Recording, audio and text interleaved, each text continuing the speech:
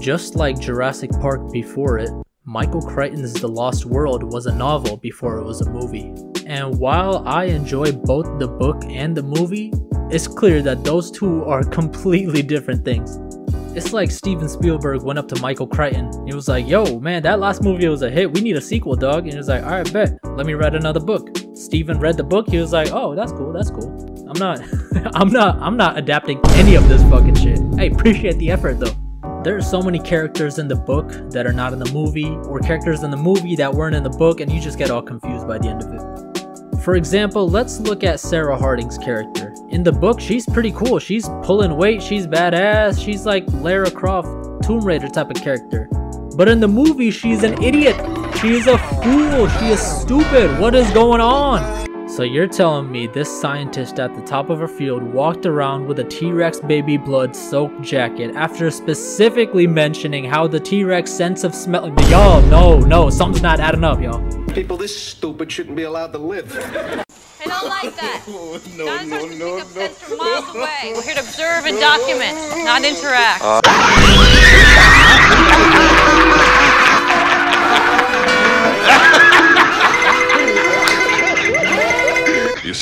Sarah in the movie isn't really Sarah.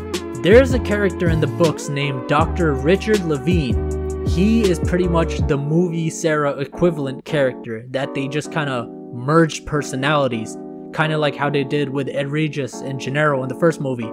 Cause this guy is smart, but he's kind of a fucking idiot. He's the reason Ian even goes to the island because his stupid ass sneaks on there. And then there are characters in the book who didn't even make the cut for the movie, such as Dr. Thorne or Arby. And if you're wondering who Arby is, take a look at Kelly. You notice something different about her? Do you see any family resemblance here?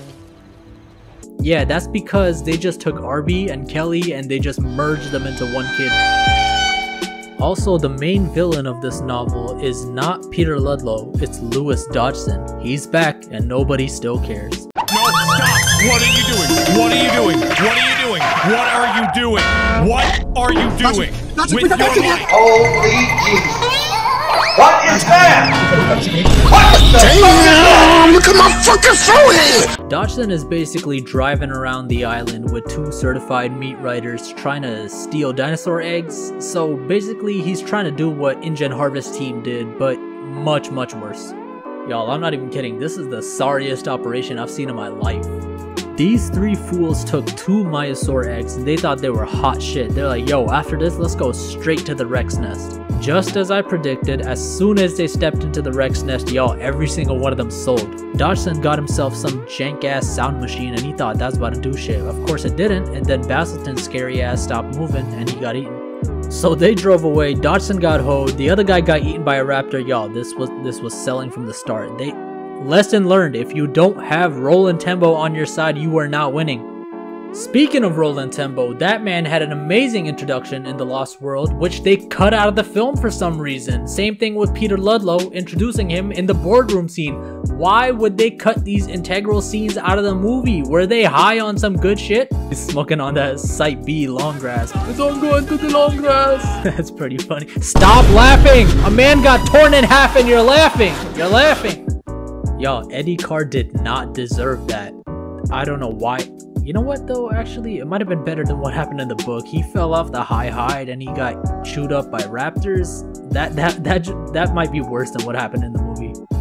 He was a hero. Stand up and salute him.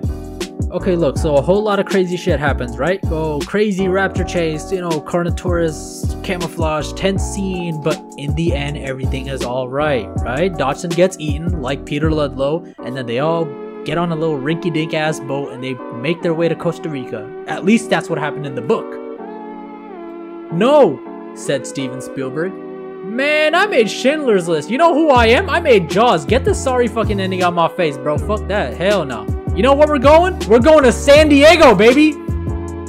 I swear to God, watching the third act of this movie is like watching a whole other movie bolted onto the Lost World, and I love it for that.